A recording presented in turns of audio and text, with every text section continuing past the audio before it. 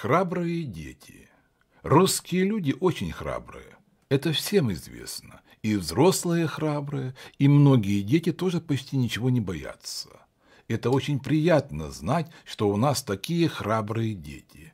Не знаю, конечно, как насчет самых маленьких, которым по пять или там по шесть лет, насчет таких малышей я вам ничего не могу ответить. Вы уж сами разбираетесь в этом вопросе, храбрые вы или нет. Скорее всего, я так думаю, вы тоже не испугливого десятка.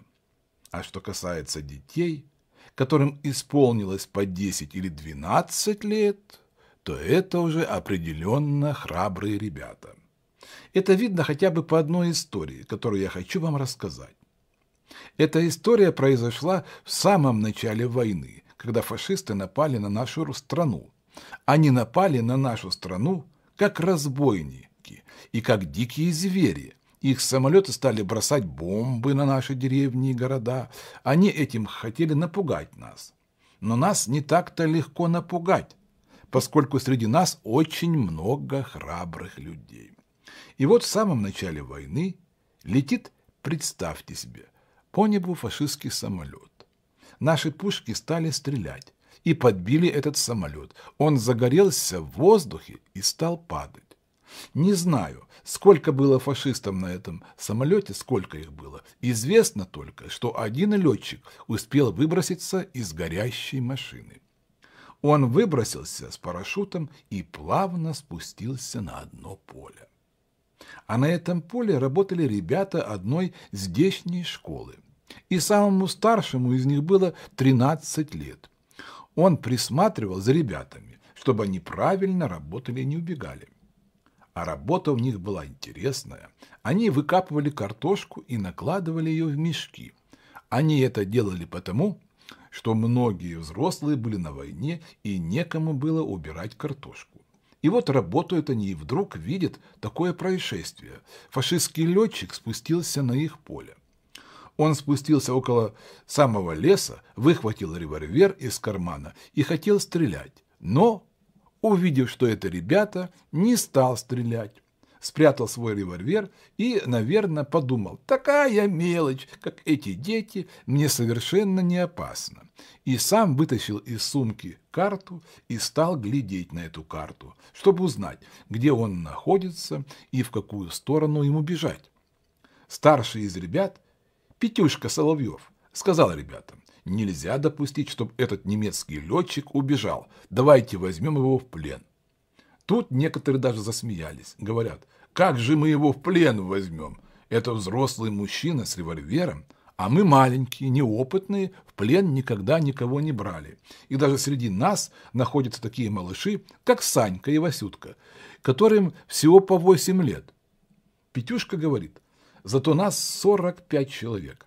Давайте подойдем к нему ближе, а когда я свистну, все в одно мгновение бросайтесь на него. Одни хватаете его за руки, другие за ноги, третьи держите за волосы, четвертые за штаны, и тогда как-нибудь мы его одолеем. И вот ребята подошли поближе к фашисту и стали на него смотреть, будто интересуются им, а тот и внимания на них не обращает. Дескать, э, безобидные детишки, мелочь, не боюсь я их. Тут Петюшка свистнул свои пальцы, и все ребята в один момент бросились на фашиста. И они бросились с такой быстротой и с такой силой, что фашист от неожиданности упал в траву. Он упал в траву и стал бороться и кусаться, и хотел вырваться. Но ребята, ребята не выпускали его. Он отбрасывал некоторых ребят в сторону, но те снова наседали на него и, наконец, вцепились в него со всех сторон и так крепко, что фашист уже не мог двинуться. Особенно помогли делу трое ребят, которые держали фашиста за волосы. Они так держали его, что фашист прямо взмолился. Он закричал «Дети, прекратите ваши шалости, отпустите меня, иначе я вашему учителю пожалуюсь. А главное, не дергайте меня за волосы, мне же больно». И тогда все дети засмеялись. А Петюшка сказал – нет, это не шалости. Мы вас взяли в плен, Сейчас свяжем вас и поведем в деревню. А что касается волос, то пока будьте добры, потерпите. Это уж не такая сильная боль, чтоб кричать на все поле. Тут Петюшка взял веревку, которая лежала у них на мешках, и стал связывать фашиста. Сначала он связал ему руки, потом на голову надел ему мешок и тоже завязал его вокруг шеи. Наконец связал ноги, причем так связал, как связывают ноги лошади, чтобы она не убежала, но чтобы могла тихонько идти. После этого Петюшка велел фашисту встать, и в таком виде они повели его в деревню. Но тут выяснилось, что не все ребята могут идти в деревню. Некоторые из них пострадали довольно сильно. У одного была сломана нога, у другого вывихнута рука, у третьего подбит глаз. Всего пострадало семь человек, но зато фашист был взят в плен. И вот ребята привели этого фашиста в деревню. А через деревню в это время проезжала военная машина.